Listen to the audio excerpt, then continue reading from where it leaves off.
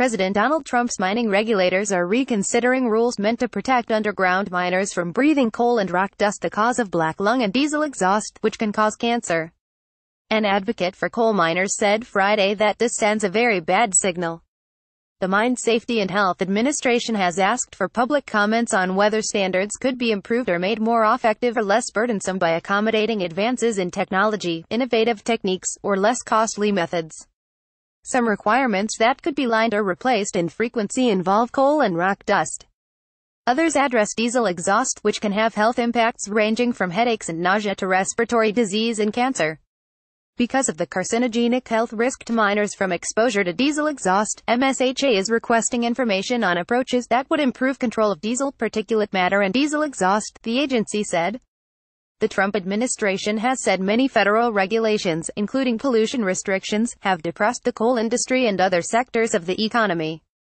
President Trump made clear the progress his administration is making in bringing common sense to regulations that hold back job creation and prosperity, Labor Secretary Alexander Acosta said Thursday in releasing his agency's regulatory and deregulatory agenda.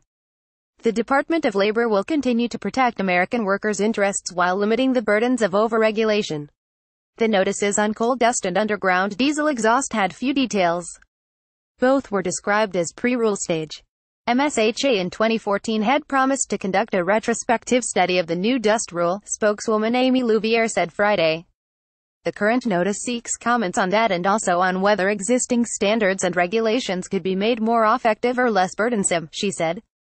I think it's a very bad signal for coal miners that MSHA is wanting to revisit the issue of coal dust and rock dust as well as diesel exhaust, said attorney Tony Oppegard, who represents miners in safety cases.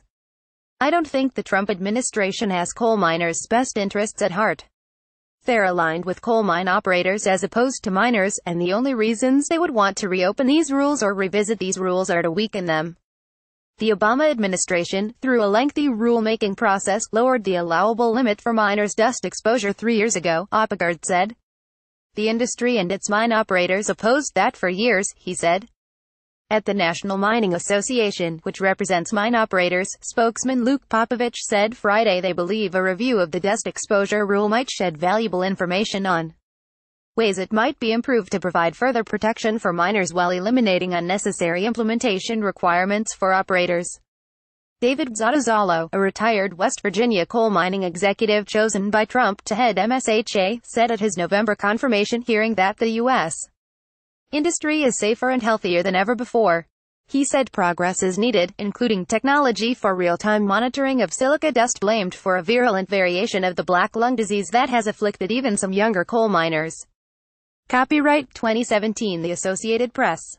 All rights reserved. This material may not be published, broadcast, rewritten or redistributed.